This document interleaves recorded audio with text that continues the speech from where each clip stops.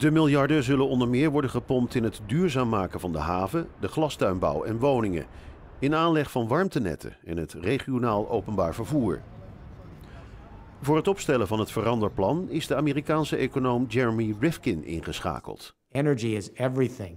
Energy is actually what determines whether you're productive, make profit, or how much of your income is squandered.